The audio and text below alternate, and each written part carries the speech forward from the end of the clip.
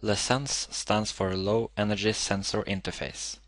It is in essence an ultra-low power peripheral that can autonomously monitor and evaluate analog sensor events. In this training module, you will learn the basics of how LESENSE operate in deep sleep mode, sensing both capacitive, inductive or resistive sensors. To understand how LESENSE can save energy, let us first look at how analog sensor measurements are usually done in a generic MCU. This analog event graph represents some external analog event that we want to trigger on and measure. It can either be a change in capacitance, like capacitive touch, or it can be inductive events like metal detectors. It can also be something as simple as the analog output of a resistive light sensor. A generic MCU would typically need to use the CPU to evaluate the sensor at some specific scan frequency. When it detects a change in the analog value, it can do some processing before it continues with the sensing. The red graph shows relative energy consumption in active and sleep mode of the CPU. With an EFM32 MCU, the LESENSE module can autonomously do the sensor evaluation in deep sleep mode. Running on the low frequency oscillator, it can autonomously duty cycle other peripherals that is needed for the sensor measurement, letting the CPU sleep until a threshold is reached, for example when a finger touches a capacitive touch button. With the built-in low power state machine, LESENSE can also evaluate several events before it issues an interrupt to the CPU. It can do quadrature decoding, simple communication packet decoding, or it can count events and only wake up after a certain number of events has occurred. The Low Energy Sensor Interface offers autonomous sensor measurements and evaluation in deep sleep mode. LESENSE can be thought of as a control unit that can operate in deep sleep and utilize other on-chip peripherals like the analog comparators or digital to analog converter, to measure and evaluate analog events. Up to 16 individual inputs can measure inductive, capacitive or resistive types of sensors. The programmable state machine can then decode and evaluate several sensors without waking up the CPU. It can also take advantage of the peripheral reflex system to relay signals to other on-chip peripherals, like UARTs or timers. Now we will have a look at the different peripherals that LESENSE can use in deep sleep mode. The most central peripherals for LESENSE includes the analog comparators, the digital to analog converter, and a low frequency oscillator. In addition, LESENSE can use both DMA, peripheral reflex system, pulse counter, or the auxiliary high frequency oscillator from deep sleep for more advanced tasks. The first example on how it actually works is capacitive sense. The EFM32 analog comparators has a special capacitive sense mode which works by setting up an RC relaxation oscillator on the touch pads. LESENSE can autonomously measure and evaluate the change in frequency and issue an interrupt only when the change crosses a predefined threshold. When a human finger comes close to the touchpad, the capacitive value changes, which in turn changes the oscillation frequency. An interrupt can then be issued. Typical current consumption is less than 2 microamps while monitoring a couple of touch buttons. Now we will see a live demonstration of capacitive touch using LESENSE. First I will open the EnergyAware profiler from Simplicity Studio. Then I will go to the demo mode and start the touch slider example.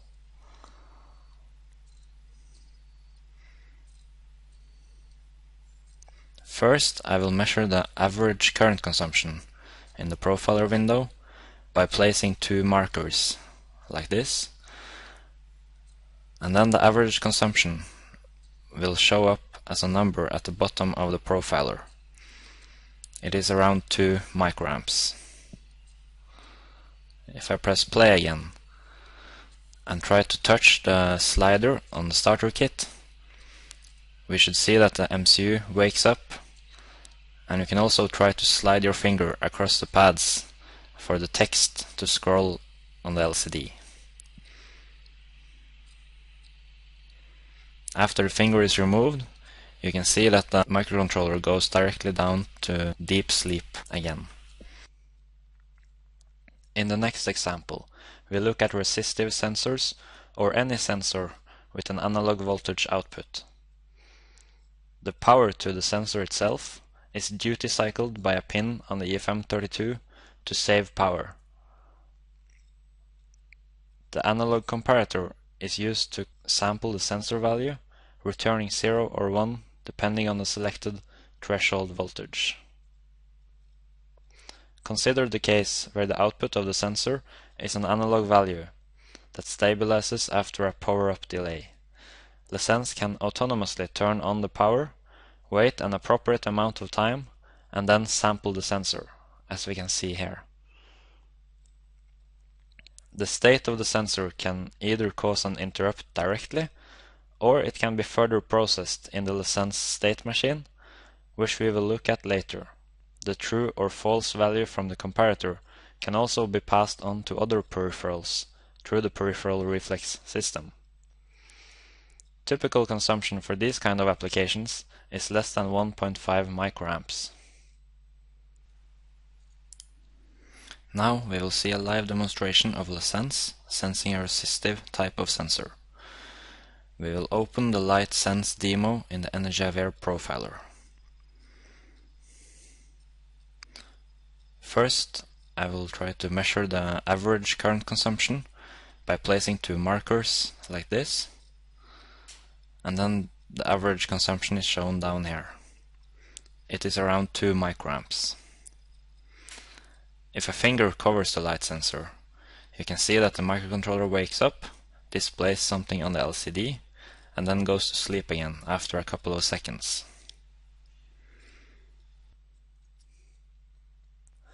In this example, sensing the proximity of metal is considered. The sensor consists of an inductor and a capacitor in parallel, also called a tank circuit.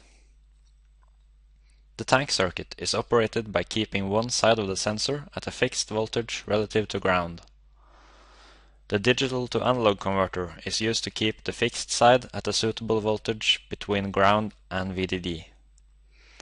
The other side of the tank circuit is first pulled low to excite the system. Current flowing in the inductor sets up a magnetic field which stores energy in the tank circuit. After current is flowing through the inductor, the comparator input is tri-stated. The current in the inductor must now flow into the capacitor, transferring the energy to the capacitor, which in turn when charged up passes the energy back into the inductor. The magnetic field around the coil keeps changing. The system is allowed to oscillate freely like this and you can see the voltage at the comparator input in the figure on the right.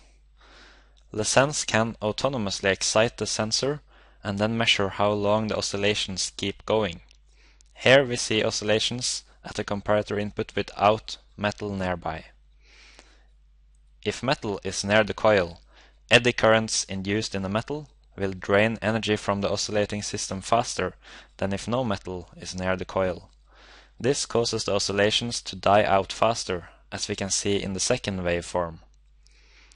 By automatically counting and comparing the number of comparator trigger pulses against the threshold value, LESENSE can issue events based on the presence or absence of metal, typically with consumption of less than 2 microamps.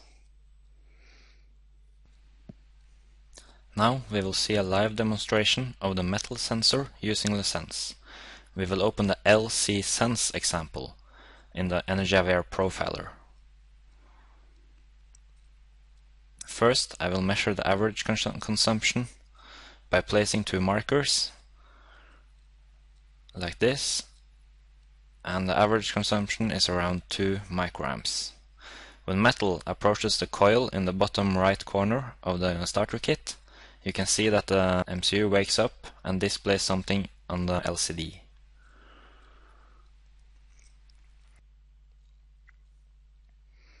Now we will take a look at a specific timing sequence within one LESENSE scan event. LESENSE can automatically scan up to 16 enabled sensor channels at a fixed scan frequency.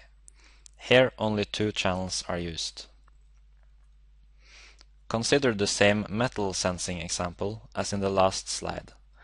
Within one channel scan event, there are three individual timings happening.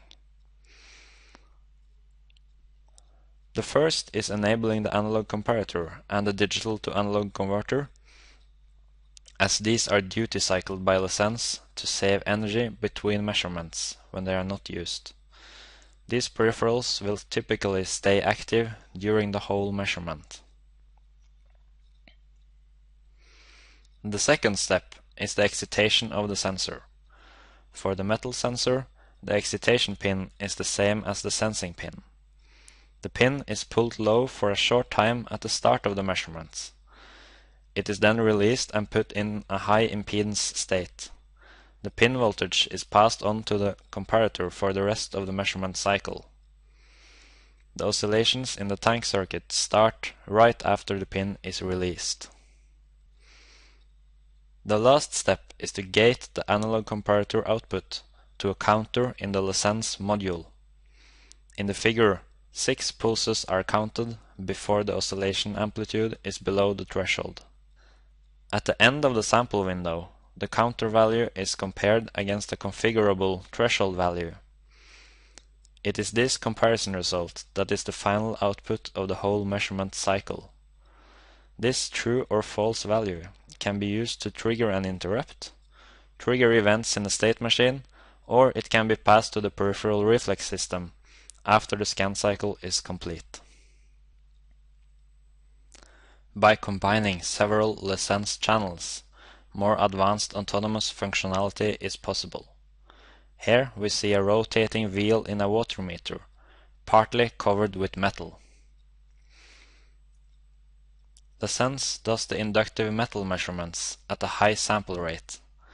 The measurements end up with a true or false value, depending on if metal is near the two sensor coils. The true or false value is then sent out on the peripheral reflex system. In the other end of the PRS channels, the EFM32 pulse counter receives the signal. The pulse counter can interpret the two Boolean values as a quadrature encoder signal and count rotations. An interrupt is issued only when a certain number of rotations has been counted. Everything that happens until the interrupt is issued happens in deep sleep with only microamps of current drawn by the EFM32. Another example of the possibilities of autonomous operation with LESENSE is capacitive touch gesture detection. This example demonstrates how the internal state machine in LESENSE, or the decoder as it is called in the reference manual, works. Here we see a capacitive touch slider connected to LESENSE. The LESENSE decoder interprets the capacitive scan results and transition between states in deep sleep mode without any intervention from the CPU. When a finger approaches and passes the pads, the state machine keeps track of the order the pads are activated in.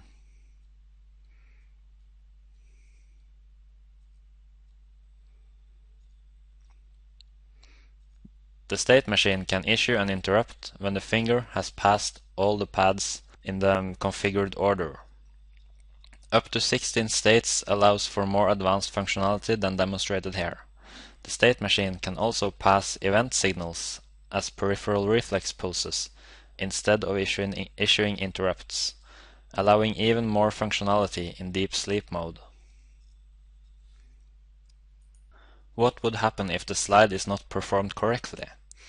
Here we see the same wake on slide example, but now with the demonstration of operation when the slide is aborted before finished.